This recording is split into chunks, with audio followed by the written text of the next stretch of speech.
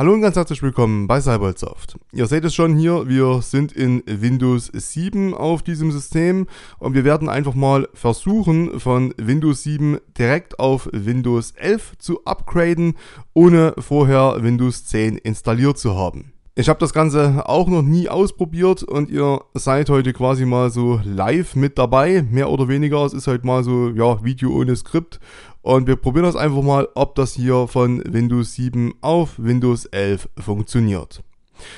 Fangen wir damit an, dass wir uns von diesem Windows 7 System erstmal den Produktkey auslesen, denn den werden wir wahrscheinlich benötigen. Das heißt, wir gehen erstmal hier auf unseren Lieblings-Webbrowser. In meinem Beispiel ist es heute mal der Firefox. Ihr seht, das System hier, das war schon lange nicht mehr aktiv. Es dauert alles eine Weile und Firefox hat auch mal erstmal hier ein paar Updates geladen. Ich suche hier erstmal nach Nearsoft, denn die hatten meiner Meinung nach diesen Produkt-Key Viewer. Schauen wir mal hier nach. Hier unten haben wir das Produkt-Key Recover Office Windows CD Key. Das brauchen wir. Also laden wir uns jetzt hier mal die 64-Bit herunter. Ziehen uns mal hier Produkt-Key heraus. Ah, jetzt kommt hier einmal der Virenschutz. Okay, dann müssen wir erstmal den Virenschutz hier deaktivieren. Also hier Einstellungen, jetzt muss ich selber erstmal gucken, wo das hier überhaupt ging. Echtzeitschutz rausnehmen, okay, speichern, ja. Nochmal.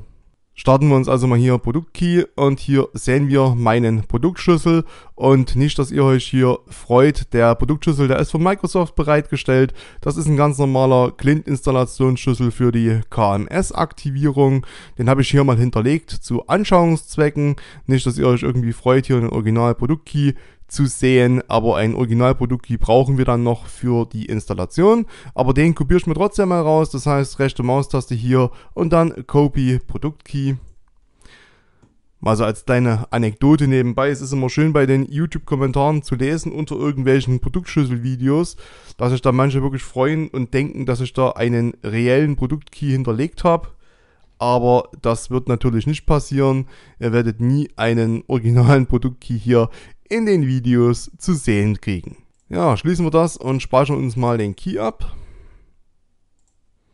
Auch wenn das jetzt halt kein richtiger Key ist im Endeffekt, aber trotzdem zu Anschauungszwecken, ihr solltet euch den auf jeden Fall speichern, wenn ihr das Ganze hier nachstellen wollt. Weil den Key, den werden wir sicherlich benötigen. Gut, dann suchen wir uns mal eine Windows 11 ISO-Datei. Das heißt, wir googeln einfach mal nach Media Creation Tool Windows 11. Also Media Creation Tool Windows 11 gesucht, gehen wir hier rein, sind wir original auf der Microsoft-Seite hier, scrollen hier mal etwas nach unten, herunterladen, Windows 11 Image, okay, Windows 11, herunterladen, hier Produktsprache auswählen, nennen wir Deutsch, bestätigen. Und die 64-Bit einmal herunterladen, speichern, auswählen, okay. Warten wir hier kurz ab, bis Windows 11 hier heruntergeladen ist. In der Zwischenzeit werde ich mir immer dieses Skript raussuchen. Die Seite findet ihr natürlich in der Videobeschreibung. Es gibt TBM-Check, das hatte ich schon bei dem Windows 10 auf Windows 11 Upgrade Video, dass wir hier die Hardware-Voraussetzungen umgehen können. Das heißt, wir drücken hier mal auf RAW und kopieren uns das Ganze raus. Also hier alles markieren, dann STRG C gedrückt. Dann starten wir uns hier mal den Editor, fügen das Ganze hier ein, dann Datei speichern unter hier alle Dateien auswählen bei Dateityp und hier einfach mal skip zum Beispiel .cmd eingeben. Das Ganze hier mit Enter bestätigen, Editor können wir schließen, haben wir unser Skript schon mal vorbereitet, dann fürs Update. Und wir gucken mal, wie weit der Download ist. Dauert noch eine Weile, okay. Warten wir also hier noch so lange ab. Bis gleich. Nach dem Download lassen wir uns das hier mal im Ordner anzeigen und entpacken das hier mit 7-Zip. Das direkte Einbinden hier im Windows Explorer war bei Windows 7 noch nicht möglich, das heißt wir müssen es hier erstmal entpacken. Nachdem das erledigt ist, müssen wir zuallererst unser Skript ausführen. Das heißt, wir können hier erstmal den Explorer oder den Firefox hier soweit schließen und starten uns hier unser Skript. Die Benutzerkonto-Steuerungsmeldung hier mit Ja bestätigen. Beliebige Taste drücken und nun gehen wir hier in den Windows 11 Ordner rein, in das entpackte ISO und starten uns hier mal die Setup.exe. Ja, das Fenster hier, das schließe ich mir, das brauchen wir ja nicht mehr. Nun müssen wir uns hier die entsprechende Windows 11 Version aussuchen. Das heißt, wir hatten ja eine Pro, also eine Windows 7 Professional. Das heißt, hier wählen wir uns eine Windows 11 Pro aus, damit das dann mit der Lizenz funktioniert. Weiter.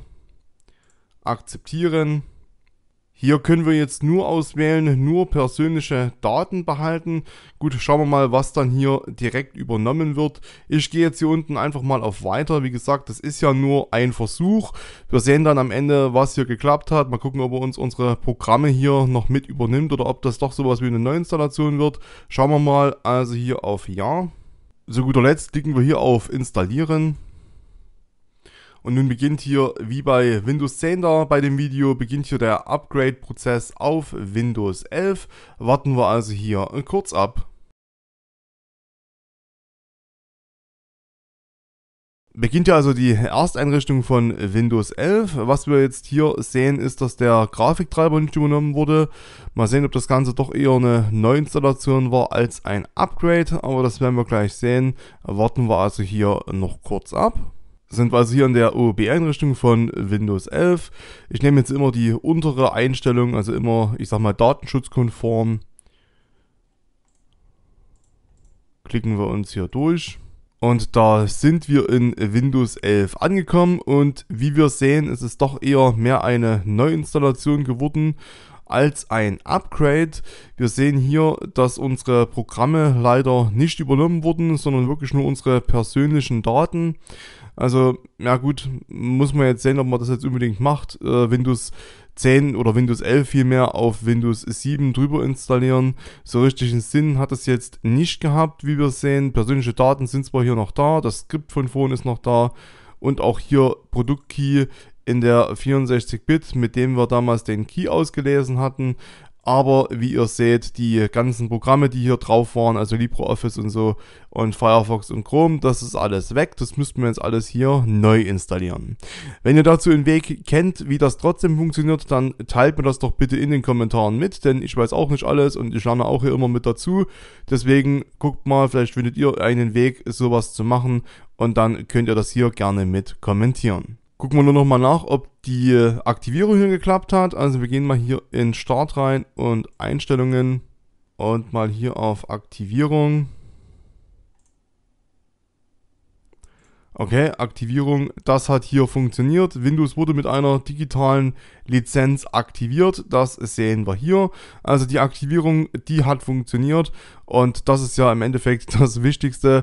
Ähm, ja, in diesem Sinne, das war's. Ich bedanke mich bei euch fürs Zuschauen und wünsche euch wie immer einen schönen Tag. Macht's schön gut. Ciao, ciao. Hey, vielen Dank, dass du das Video hier bis zum Ende angeschaut hast. Wenn dir das Video gefallen hat, dann gib dem Video doch bitte einen Like oder unseren Kanal ein Abo. Beachte doch noch bitte unsere rechtlichen Hinweise, dass alles, was in diese Videos hier passiert, auf eigene Gefahr geschieht. Jeden Dienstag und jeden Donnerstag gibt es hier auf unserem Kanal ein neues Video rund um die Welt der IT.